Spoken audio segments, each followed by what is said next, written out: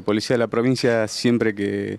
que arriba el señor presidente acá este, trabaja en forma conjunta con fuerzas nacionales, con personal de la custodia presidencial. En este caso, bueno, este, estamos trabajando en conjunto con personal de la municipalidad para ver este, los cortes, las regulaciones de tránsito que seguramente se van a efectuar en el casco céntrico en horas de la tarde. El acto, como está, se está difundiendo por los distintos medios, eh, sería en Plaza Belgrano, frente a Casa de Gobierno,